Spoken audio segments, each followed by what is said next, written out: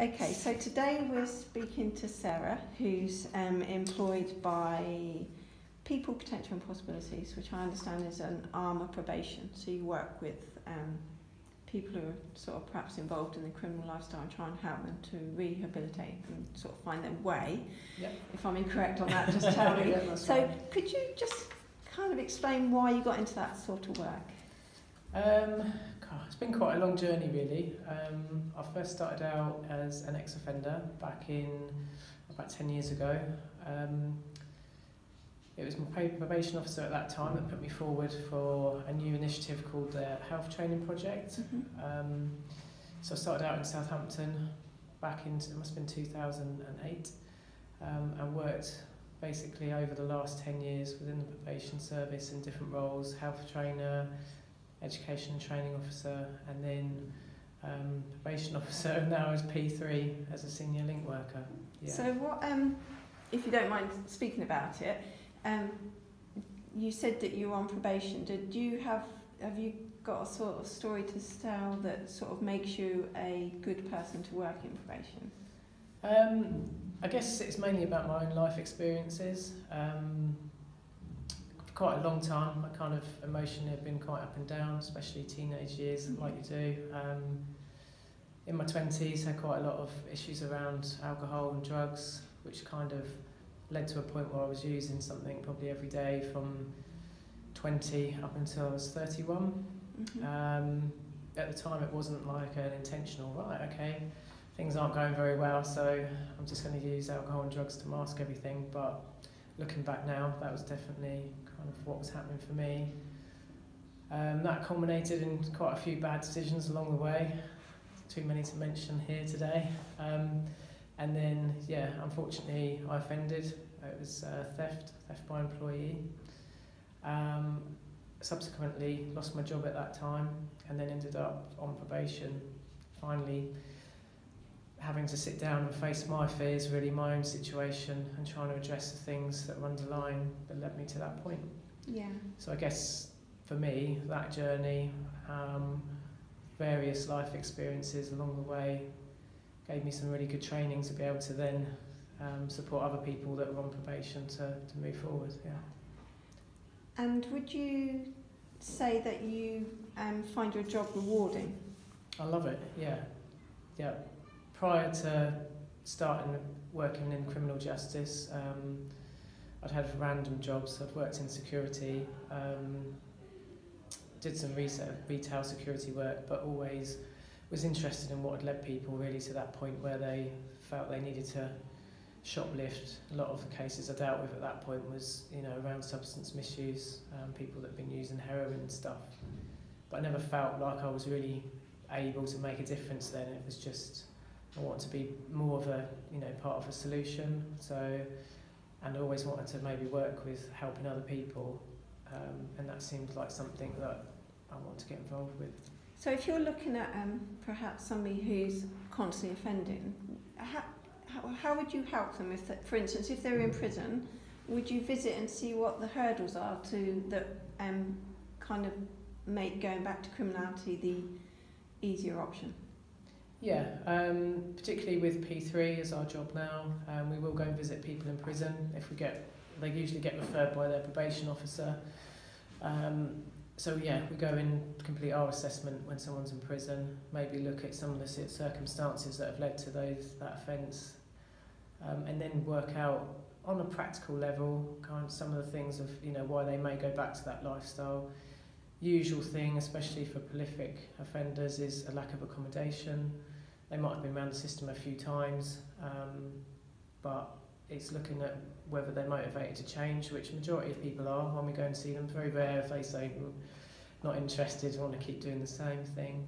And then we work behind the scenes alongside the resettlement teams within the prisons and their probation officer to come up with a, a strong release plan so that mm -hmm. they've got every opportunity they can to make that change if they're willing and ready. Because there must be a lot of people in prison um, who perhaps need help with their mental health. Yep. In my experience, 99% of people that end up in prison have got some kind of mental health issue be it that they're not coping very well, they're using unhelpful coping strategies, um, yeah, or that they're using substances to manage their emotions at some level, or they're just quite chaotic and just, yeah. And I'm trying to think if um, if you've had a chaotic lifestyle and perhaps you you and I can read and write and we know how to fill out a form. So I suppose if you've had a chaotic lifestyle, there could be a lot of people who've got undiagnosed mental health, but also can't fill out a form to get accommodation. Yep. Um, and actually, it must be quite a scary world for them. And Yeah. that's why it's sometimes easier to hide with um, unhealthy coping mechanisms, i.e., using drugs. Yeah.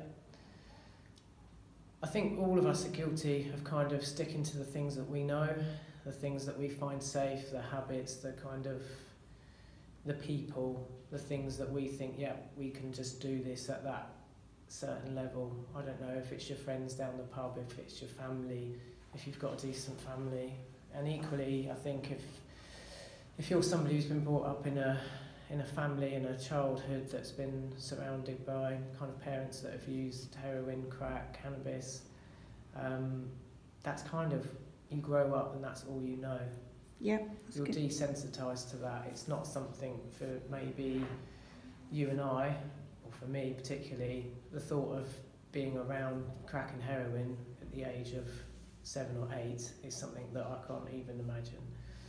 A lot of my clients, you know, at some level, especially in their childhood, they've had contact through family members that have been using heroin, crack, or they've started themselves experimenting with drugs at a really young age, seven, eight, nine. Um, and that's become something that's familiar to them. That's become a way of life, the lifestyle that goes with that. Um, that's all they know. They come out, and that's partly just what is familiar and what they would do, let alone the additional stresses of I've got nowhere to go tonight. I've got somewhere to go, but that means I'm staying with Joe Bloggs that also drinks or uses drugs. If they want to make a change and stop that, it's going to be very difficult with that kind of setup straight away. Um, you're right with the reading and writing stuff. I think it's something like 76% of the uh, prison population have got the reading age of an 11 year old. The system as we know it, the forms for benefits, the system for benefits, especially universal credit, going to housing, filling out accommodation forms, the system in the prisons for actually getting the support they need to, you know, on the outside the resettlement is just all very long, difficult, yeah. And I suppose all those things almost make it really impossible. You, it almost makes you want to run and hide Yeah, because it's almost must seem um, you can't overcome it. yeah. Many a time I've gone into prison to see my clients and I thought seriously about their situation. I thought, you know, what would I, how would I feel, even with, you know, a reasonably stable friends, family around me? How would I feel to be stood at that prison gate with, I don't know, my discharge grant of 50 quid or whatever in my pocket, not And knowing where I'm going to stay clothes. tonight. Yeah, the clothes I was taken into custody in, you know, that haven't been washed, that are minging. I don't know where I'm going to stay tonight. I've got a couple of friends that might let me stay, but I'm not sure about that. I haven't got a phone. I might have a phone, but it's not been charged up. I've got to run to my probation appointment. Um, I need to set up my benefits claim. I, or I can just go to the pub because actually I'm that stressed out and anxious about what I've got to do today. I can just go to the pub and I'm just going to have one drink. But we all know that won't just be the one drink. That's going to be three or four, and then the rest of the day is a write-off, and Mm. you've spent your discharge grant, and then you just stick to what you know. And then you're back in the same old And then you're groove. back in the same old groove with the same people, or you've gone out and done a bit of shoplifting just so that you can earn some money for food, or you've, yeah, Do you achieve success? of course. no, I'm really lucky with P3. Within our role, we with there's So P3 is the acronym for people, people. potential possibilities. Yeah. yeah. Um, we have a very small caseload that we deal intensively with um, complex cases, basically people that are usually got accommodation issues that might be rough sleeping, that have got underlying mental health concerns, um, substance misuse. that have fallen through the gaps in the system. And our roles were link workers, and we link people in to existing services. Why is there a specialist job where we need to link people in? Because you know the services are so fragmented, they're daunting. You have to have a level of organisation, and even just having a phone. If you haven't got a phone in this day and age, mm. you you just can't do the things Move you need to do. You could, yeah. Um, so, do we achieve success? We do. Our role is kind of around being that person, enabling, motivating those individuals, making them kind of believe, yes, you can do this, you can do this. It's not, it doesn't always have to be, excuse my language, but this shit you've always put up with. Things can be different. I've done it.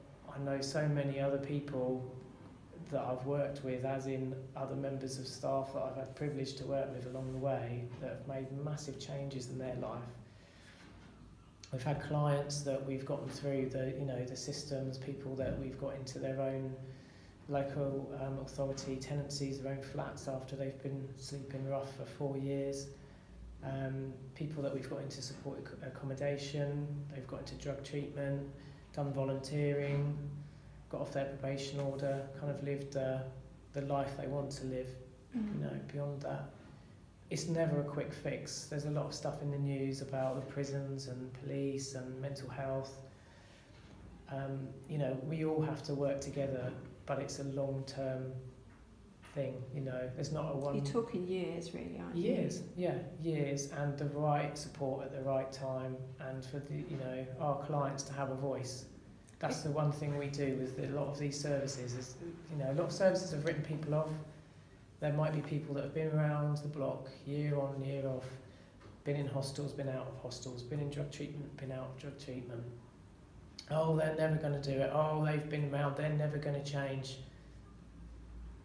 Majority there's always a time when someone will change. That's what we always hope for. And for me personally, I've been doing this type of work for 10 years, and for every person I've met, I've believed that they can change. If they're ready, we'll move heaven and earth to make sure that they can achieve the change they want. And I guess if you've got someone, I guess if you've got someone who does believe that that person sat in front of you, if somebody sat in front of you and you and they that person saying you can change, you can, you can deal with whatever it is that's causing you to take your drugs, um, then that's that must be great because so, for so much of their life, people have said, "Oh, that person's always like that. They never change. They're going to go mm. around the block." So, the, but to have someone saying, "Actually, I do believe you can change," mm. has got to be um, yeah.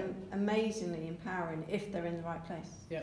If um, so, if you, what would you say to if you could t- give a, a statement to if there was someone in Gosport who is um, in that sort of unhealthy relationship with um, substances, um, what would you say is one is to do? The first thing they should do. The biggest thing is to stop hiding it.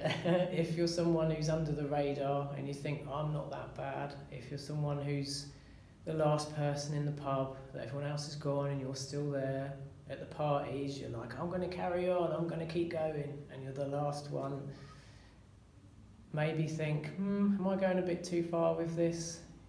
Have a real word with yourself, a proper word with yourself. Is this becoming a problem?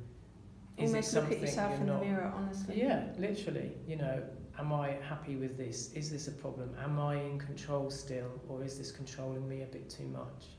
If you've tried time after time to not drink on a Friday, Saturday, and you're still drinking on a Friday, Saturday, Sunday, Monday, Tuesday, maybe it's time to just have a chat with somebody, be it a friend, be it you know, your GP if you're more comfortable. If you think things are really coming on top and you're using quite a few substances as well as alcohol, go and speak to Inclusion down in Gosport. In the precinct, yeah. Down at South Street, fantastic service, really warm, you know, open, welcoming, not there to judge. It's just literally have that conversation because the worst that's going to happen is, you know, I remember from my own experience, I went into for a consultation meeting at the Priory in Marchwood, right?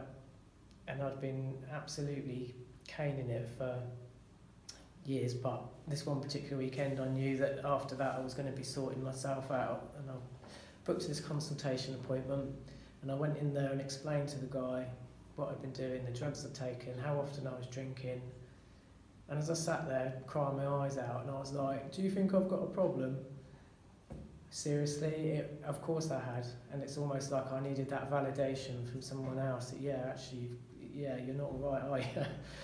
um, and that was my turning point, my moment. You know, everything collapsed, and to have that conversation sooner rather than later is only ever going to be a good thing. Because the worst that will happen is they're saying, yeah, you know, there's not an issue, or actually, what do you think? You know. Is it a bit like anything that we do that's pivotal in our life? We always think, God, I wish I'd done it so much sooner. Yeah, yeah, and you have to.